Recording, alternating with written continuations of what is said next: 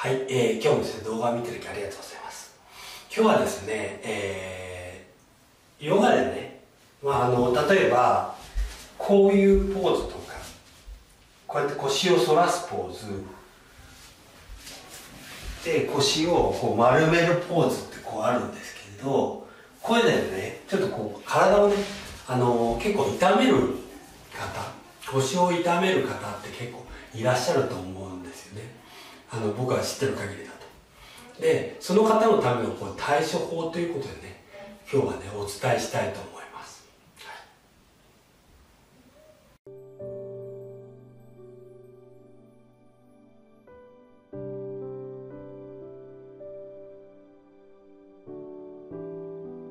はい、では、えー、ちょっとこう始めたいと思いますね。まずですね、えー、腰をですね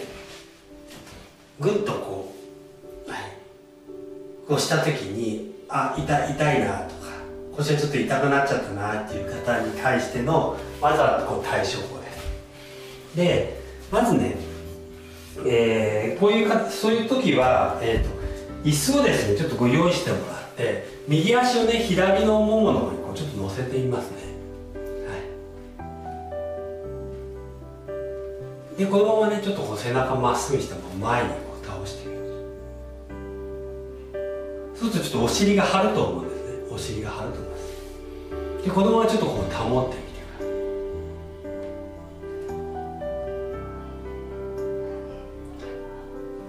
さいで足をね元に戻して今度は左の足をねまっすぐに乗せてみてそのままぐーっとねもうちょっとねはい反らしてみてください。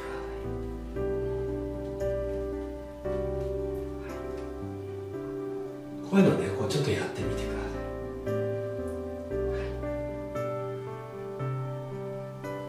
でゆっくりこうちょっと元に戻しますね、はい、でこれが一つ目ですね。でもう一つ目もう一つ目がですねはい。一番こう結構きついのはですねこのこれですよね。こう反らした時。ヨガのこう反らしてちょっと腰を痛めちゃったっていう方、はい、いらいらっしゃると思うんですけどその時はですねまずね足をこうまっすぐにしていきますね。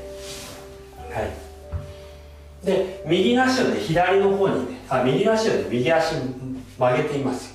でちょっとねここを伸ばしてみてください。少しこうしてもらったりはい。ちょっとこうしてみてください。でここをちょっとこう伸ばしてあげてみてくださいね。はい右の足ですね。これ逆もやっています。左の足をはい、曲げてもらってちょっとこうこういう感じで、は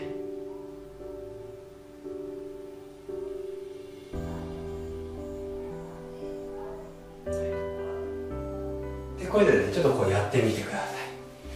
はい。結構ねあのー、そのまあ準備運動とかねやらない先生はないと思う。特にですねやっぱりこう腰痛とかね結構ある方が急にですねこういう今みたいなポーズをこうするとですねちょっと痛みがね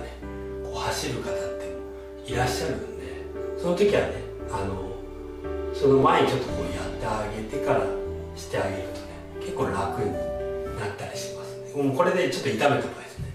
はい。是非ですねやってみていただければと思います、はい、今日も